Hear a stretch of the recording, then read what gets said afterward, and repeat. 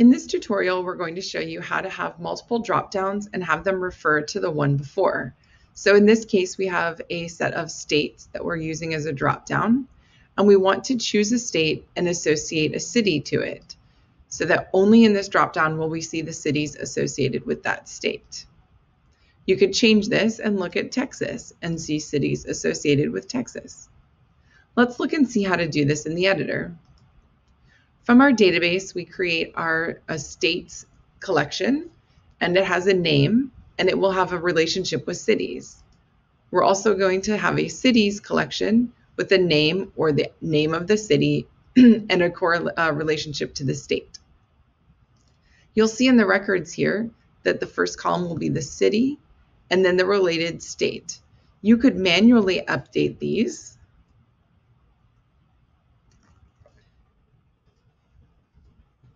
and have it save. Or you could upload a CSV. When uploading the CSV, you'll just need two columns, the name of the city and the name of the state. Because you have the relationship property, you won't need to have a separate state property. It will automatically feed into the name and the state here. You'll see in the states database that there is a relationship built here to note this state and how many cities are associated with it. On the actual screen itself, you're going to use a text field if you want to label your dropdown, and then this is going to be a dropdown component. When we add that, we select the Add Component, we search for a drop-down menu, we add the drop-down menu to the screen, and then you can select what this is a menu option of. In our first case, we're looking at states. And this is going to be a list of all of our states, and you can sort it to your choosing depending on what you're trying to uh, list in this menu. You're then going to add another drop-down, and this would be for your city.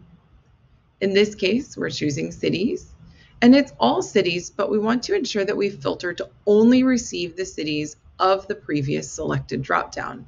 So you'll need to create an add filter here, and you're going to filter that the name of the city is equal to, that the state name is equal to the form input select for name.